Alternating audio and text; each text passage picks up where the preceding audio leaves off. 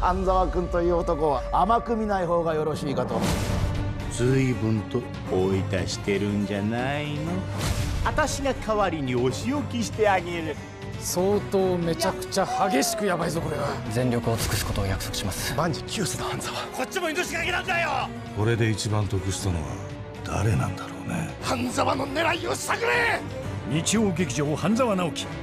大事なのは感謝と恩返しだ。